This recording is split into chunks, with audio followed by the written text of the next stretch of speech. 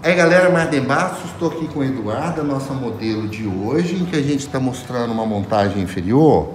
E eu queria mostrar para vocês o seguinte, acabamos de montar, morde meu anjo, e ficou tocando no tubo do molar inferior, olha só.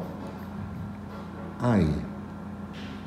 O que, que eu posso fazer para resolver esse problema quando fica pegando no tubo e é pouquinho, estão vendo que é pouquinho? É questão de um milímetro. O que, que eu vou fazer? Abre bem a boca, meu amor. Aí, primeiro, eu vou secar bonitinho, olha só.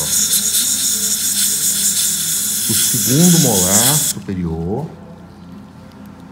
Vou usar aqui o CEP, que é um adesivo autocondicionante, ó, só nas pontas das cúspides vestibulares, ó. Seca de novo. Estar tá bem isoladinho, com Aí. E aí eu vou usar um adesivo para a banda da Ortomund, que é hashtag 4. Que ele é um ionômero modificado por resina. Ó. O que eu vou colocar não é um, aquele build-up do autoligado, não. É só uma beiradinha, é só tampar, abre, é só tampar o suco, olha só. Tem que ser bem baixinho. Ah, mas isso não vai intruir o segundo molar? Vai. É bom que eu evito aquele contato prematuro que é tão comum no final do tratamento no segundo molar superior. Muito bem, vou fazer do outro lado. Enxertar o pintal do segundo molar. Abre.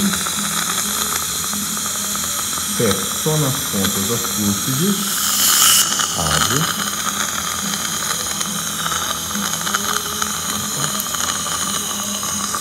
E aí,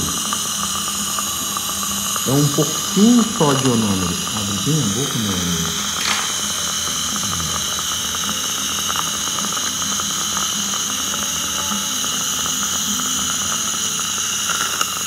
É só a conta de tampar o suco e de evitar a pancada no tubo.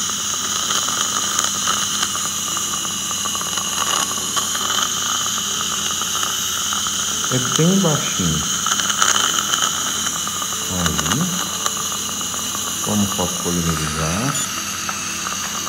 O meu ionômero ele é mais macio ela vai mover tocando nele e não vai quebrar o tubo inferior. Vamos ver de cá. Beleza, tá liberado.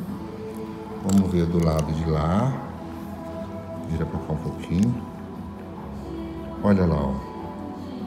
Não tá tocando mais diretamente no tubo.